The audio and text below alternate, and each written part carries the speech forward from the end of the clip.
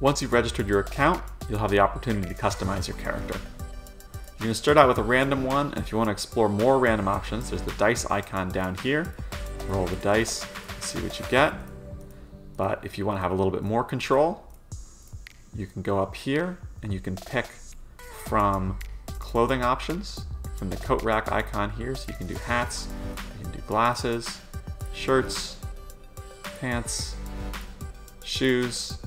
You want to change the appearance, we've got a lot more choices here. We've got eyebrows. You can change the different eyes, change the color of the eyes, noses, lips, face shape, skin tone, hair hairstyle, and hair color. I think that looks like a pretty fun person to be for today. So I can hit save and start the tutorial. Now the tutorial will teach you the basics you need to know to get through home base. It's a little bit like this video, uh, but I'll guide you through it here and then we'll probably revisit some of it later as well. So first off, we learn how to move, which is just a matter of tapping on the screen or clicking on the screen. So let's just move by tapping towards this giant floating hand. Jasper's going to come out here. Jasper is your friend you can go and talk to for information about home base at any time. So let's just walk up to Jasper and say hi. We just got a trophy for saying hi to him. That's fun. You can earn trophies throughout home base for interesting things you do. So Jasper's going to give us a little information here.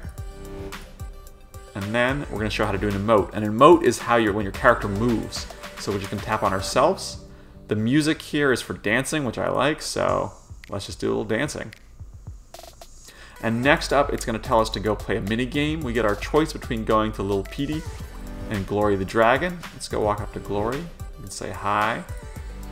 Uh, maybe we decide not to play this game right now. Instead, let's go over to Little Petey here.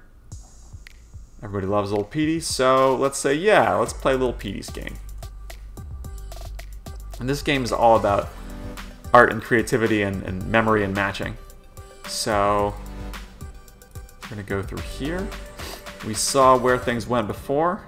It's giving us a few hints now. But we're just going to move this there. Got one more hint. And now for this third one, there's not to be any hint. We got to remember where this arm goes. I think it's to go right about in here. Let's see how we did. Perfecto. Not bad. Now give us a grade. Watch that number go up and up and up. All right, 100%. Not too bad. So we're to click Done. Now we're going to learn a little bit more. We got some rewards. Got some tokens we're collecting. Now it's going to show us how to buy new items for our character to wear. So we just click on the store icon in this ribbon here. Let's choose the Wings of Fire t-shirt, pay some tokens for that. We're gonna hit yes on equip. That means we're gonna put it on. Now that we're done here, we'll just X out. And you can see we just got this new t-shirt we just earned by playing that game. Next up, they want us to travel to a new island. So this is the travel icon here. Click that. We'll go to the hub, which is sort of a town square for home base. Hit travel. And away we go.